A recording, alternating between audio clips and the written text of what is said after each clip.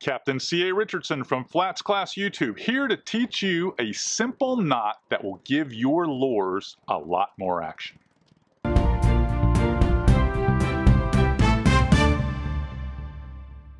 Here's a question that is posed to me quite often, either through social media or through the website. Can I use a fast clip or a Fastach attachment instead of tying a loop knot every time? And I said, of course you can. But anytime you add weight to the front of a lure, it may diminish its ability to move back and forth a little bit because you're adding weight to the nose, especially very balanced baits like this custom MirrOdine. And it's so simple to tie an easy non-slip mono knot that really works well. So let me show you how we're gonna do this. So what you're gonna do is you're gonna take an overhand, make an overhand loop, take your tag and run it back through the loop so that it looks like this. That's what you're after. I'm gonna pull a little bit more tag out this is about 25 pound leader. And next I'm gonna grab the lure and show you how we're gonna attach this. What I like to do is I put this custom MirrOdine on the tag end and I'm gonna take the tag, put it through the loop itself.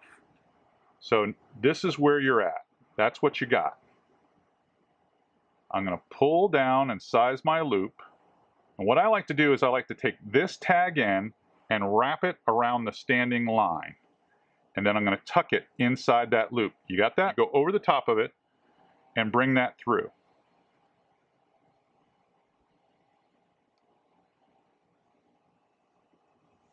Cinch everything down. I want to size it just right. doing this slowly. Now you're going to lube this up, but for, for this demonstration, I'm not going to take it out of focus because I want you to be able to see it.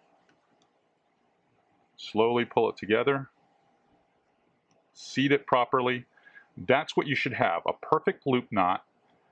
Then you're just gonna take the pliers and you're gonna cut yourself a decent tag length on this. It's okay to leave that much tag. It's not a big problem. It is not going to slip. That's why we call it the non-slip loop knot. But this little loop will give your bait that swinging action side to side that you desire. You'll also notice that in most cases this tag will be back where it'll shed grass. So it's a, it's a good little tip instead of using a split ring or a piece of hardware like a snap swivel, a Fastach clip, anything that you add to the nose of the bait will drag it down. This gives your bait the most action and the most nice vertical fall. I tie it for everything, jigs, hard baits, you name it, even live bait hooks at times. And I promise you, it is very easy to tie and you're going to love the action it gives your lures. So in short, if you're looking to put more action on your lures, you're going to want to try this non-slip mono loop knot. I've got this one attached to one of my absolute favorite custom baits, which is the cotton candy for speckled trout.